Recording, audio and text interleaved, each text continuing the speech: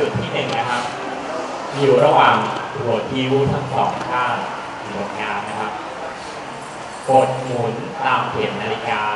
10ถึง20 รอบ คือหมุนครั้งหนึ่งประมาณ 10ถึง20 รอบ กด3ถึง5ครั้งนะครับ จุดที่สองเลยจากจุดที่หนึ่งไปหนึ่งชี้หนึ่งนิ้วขวาเรียก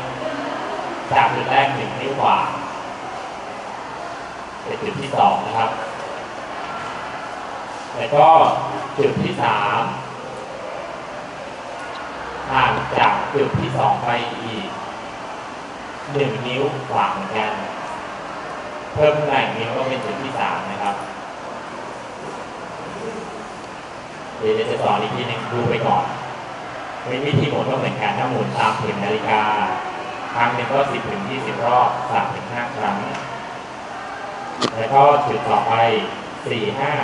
จะอยู่ที่หัวคิ้วทั้งสองข้างด้านหน้าจะหมดแล้วนะครับ จะมีด้านข้างหกเจ็ดก็คือซ้ายขวาอ่ามันตรงกับหางตาตรงนี้นะครับ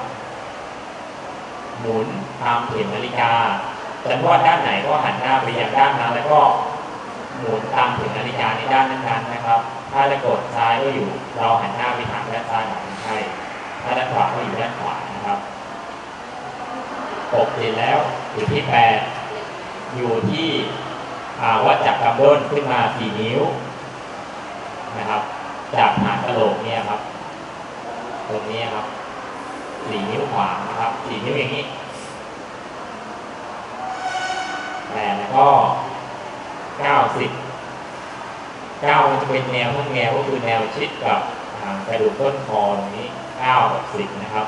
อันนี้มีการกดแบบธรรมดา ในกรณีคนไข้ที่มีไม่มีปัญหาเรื่องความดัน แต่ว่าถ้าคนไข้ความดันสูงต้องชี้ทิศให้มันลงมาข้างล่าง แต่ถ้าคนไข้มีปัญหาเรื่องความดันต่ำต้องชี้นิ้วทิศขึ้นข้างบนเพื่อให้เลือดขึ้นไปเลี้ยงที่หัวมากขึ้นนะครับมี90นะครับ แล้วก็มี 11 12 เป็นแนวที่อยู่ถัดออกมานิดนึง อันนี้ก็คือสรุปง่ายก็คือกดคอเฉยๆครับคลายกล้ามเนื้อคอธรรมดา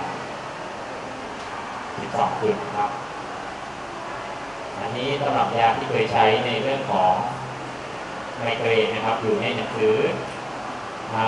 รวบรวมภูมิปัญญาของหมอพื้นบ้านในจังหวัดสงขลาและพัทลุงนะครับในห้องสมุดคณะก็มีนะครับที่เราไปอ่านดูได้นะครับ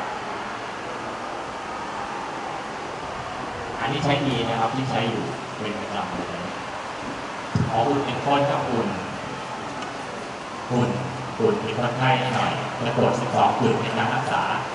ให้ดูเป็นผู้หญิงก็ได้ผู้ชายก็ได้